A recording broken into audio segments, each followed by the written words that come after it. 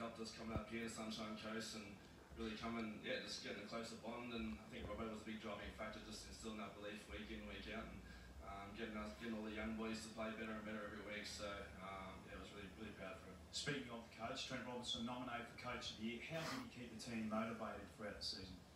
Yeah, he found different ways every week.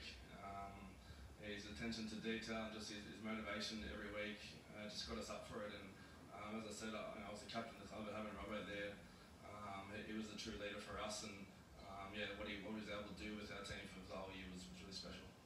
Do you have what it takes to catch Tommy? Nah, I think he wins it. Thanks very much. Back to you, Jess.